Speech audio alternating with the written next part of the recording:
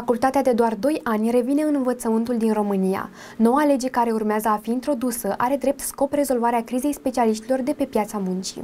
Facultatea care durează doar 2 ani revine sub forma cursurilor scurte din învățământul universitar. Această soluție poate fi utilă celor care doresc să obțină o diplomă în baza căreia să se poată angaja. De asemenea, legea din educație poate reprezenta și soluția lipsei specialiștilor de pe piața muncii, iar orice universitate poate organiza astfel de cursuri, mai puțin medicina, dreptul sau arhitectura. Așadar, indiferent că vorbim despre economii sau informaticieni, acestea reprezintă doar câteva dintre specializările care vor beneficia de cursuri de 2 ani și 60 de credite acumulate, la care se va adăuga practica pentru toți studenții. Reînființăm ciclul scurt de admitere cu diplomă de bacalaureat companiile mari au solicitat asta, în special IT. Au nevoie nu de licență, dar au nevoie de un nivel intermediar de învățământ superior. Este o tendință europeană și există facilități fiscale pentru operatorii economici pentru dual, a declarat Ligia Deca, ministrul educației. Rectorul Politehnicii Mihnea Costoiu a afirmat că această formă de învățământ este mai mult decât o postliceală, iar în timpul cursurilor acesta va putea dobândi noi cunoștințe cu care va putea concepe precum și instrumente